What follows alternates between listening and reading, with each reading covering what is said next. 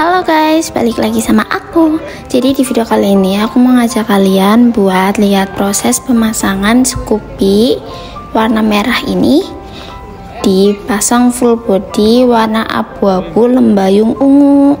Mungkin karena di video ini lagi satu motor yang masuk di toko kita, jadi yang masang itu ada tiga orang kayaknya. Cuman ini yang ke video cuman beberapa aja ini yang satu lagi masang bagian depan. Terus yang satu lagi lagi masang bagian bodinya nah ini juga ada yang narik bantu tarikin. Bukan bantu tarikin ya ya lebih ke megangin tapi biar nggak kusut gitu loh. Soalnya percuma kan kalau misalkan dipegangin terus di hair dryer eh kusut lagi nanti kan susah masanginnya gitu. Itu ini kita pelan-pelan yang pasti tapi kita pasang dari bagian depannya. Nah ini posisi udah dipasang tinggal dirapihin pinggirannya aja. Ini kita panasin habis itu kita tempel-tempel pakai rakel. Warnanya tuh cantik jadi di sini ada tiga warna kalau nggak salah abu-abu lembayung ungu, lembayung pink sama lembayung biru. Nah, ini orangnya minta yang lembayung ungu. Nah, ini lagi masang bagian depan. Terus kesekip ternyata terus ini bagian depannya. Jadi samping depan berarti.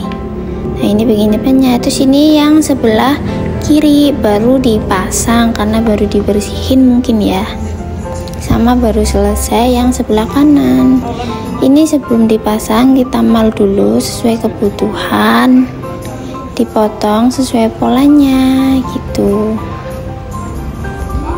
Nah tuh. Jadi ini tuh ada plastiknya. Nanti sebelum dipasang plastiknya dibuka dulu baru dipasang biar nggak terlalu kaku jadi gampang deh kalau mau masangnya. Gitu. Ini jangan lupa dibantu buat dipegangin biar gampang masangnya. Langsung saja saja jadi deh. Belum dipasang jangan lupa dipanasin biar bahannya lemes dan mudah diatur. Gitu ya guys ya. Setelah itu kita pasang pelan-pelan. Nah harus urutan ya biar rapih biar nggak ada yang menggelembung. Gitu. Itu nah ini keadaan kalau dari dekat. Tuh. Kan mengkirut kalau dipanasin jadi nggak mengkirut lagi guys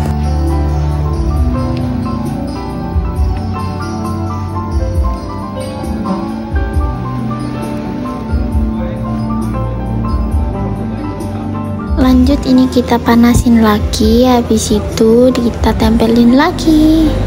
Akar-akar ini di bagian emblemnya tuh. Emblemnya dilabasin aja gitu. Nanti kan sama kita dipotong. Ini cara pemasangan kalau pas lagi di emblemnya tuh kayak gitu. Diperhatiin ya guys. Siapa tahu kalian mau masang sendiri bisa lihat dari video ini caranya bagaimana? Ya begitu caranya tuh yang di video. Nah kalau medianya lurus tuh tinggal di set nah kan jadi deh cakep. Masya Allah. Bagus banget ini. Nah ini bodinya udah tinggal pinggirannya aja. Ini di rapihin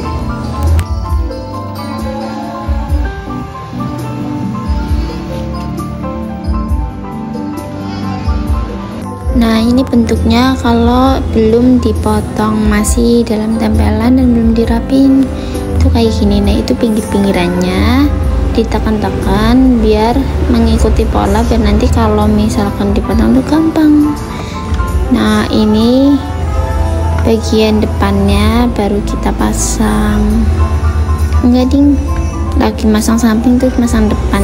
Jadi kan beda orang gitu loh Warna lembayung ini akan muncul kalau kalian itu ngeliat membelakangi cahaya. Kalau misalkan nggak membelakangi cahaya, warnanya itu kayak kurang rata gitu. Tapi kalau membelakangi cahaya, dijamin warnanya itu bagus banget Nah, di sini proses pemotongan skotlet di emblem Scoopy-nya. Tenang aja, ini nggak lecet bodinya, karena kita motongnya itu ngambang.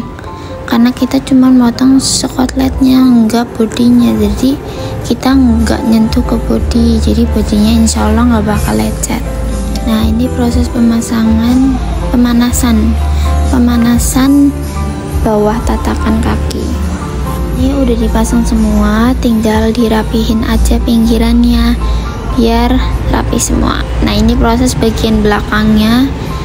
Kadang aku jarang ngevideo karena aku udah terlalu banyak di depan tapi ternyata di video ini itu aku sedikit cuman 6 menit aja. Jadi bagian ini aku video guys. Nah sebentar lagi selesai. Semoga kalian suka sama video aku. Semoga video aku bermanfaat dan bisa jadi inspirasi kalian kalau kalian mau nyokotlet full body motor. Ini dia hasilnya.